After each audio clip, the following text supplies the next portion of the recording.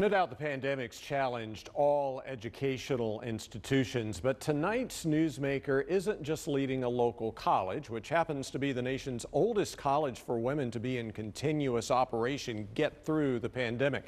Dr. Susan Henking is helping Salem College pivot academically in a way she and others believe will not only help the college survive, but help propel even more women into high demand careers, many of which are dominated by men.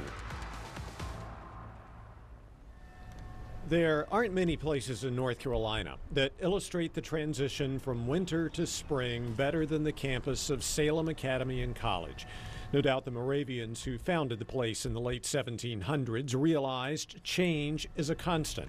But another change about to happen here is unprecedented in the United States. This sounds very Moravian to me, doing something like this. I agree with you. It goes with lots of the Moravian traditions as well, especially around inclusion and making sure that what we do is change the world in favor of equity. Salem College will soon become the nation's only liberal arts college where the entire four year academic campus experience will be linked to health careers, specifically preparing women to take leadership roles in health related fields. We decided on this health leadership thing for some reasons, and those included enrollment trends, right? Students are interested in it but funders are interested in it. And that long predates uh, COVID itself. I was going to ask what sort of a role the pandemic played in this. I think it's actually confirming some things that we thought well before the pandemic. So this has been a process of several years of, of getting to the announcement.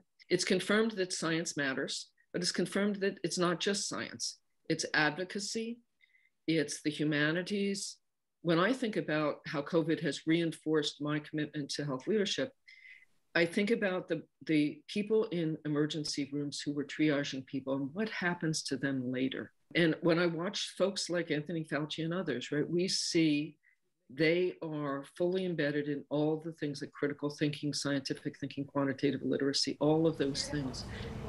The pivot starts this fall. Salem College will roll out three new majors for its 655 students. The health science major will prepare students for graduate programs like medicine, nursing, and physical therapy. The health humanities major will help direct students to graduate programs or jobs in areas like public health policy, education, and law.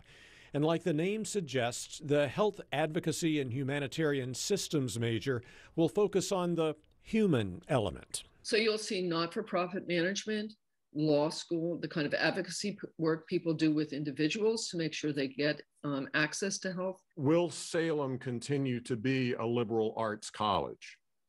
Yes. And that's because liberal arts education provides things like critical thinking, quantitative literacy, the ability to communicate well, scientific literacy, creativity, ethics. Those are our core liberal arts values. And we're going to accomplish them through, through the lens of health. If I were interested in majoring in English, I would probably need to look somewhere else, correct? The answer to that is it depends on which English you want to major in. So, our health humanities major incorporates courses from the English department. Current students won't have to change majors, but will get what Dr. Henking calls extras that have health focuses. All of higher education is asking themselves, how will we survive? And our board and our campus made the judgment this is how we will survive. And it's partly by meeting a need for students and donors that and meeting a public good. Dr. Henking doesn't anticipate any major changes in teaching faculty at Salem. If anything, Salem College will be able to add faculty with the help of a $5 million anonymous grant announced last month, the largest gift in the institution's history. Again, the phase in of this academic pivot starts this fall. And for more information, including a direct link to Salem College's website, just look for the story in the Newsmakers section of our website, myfox8.com.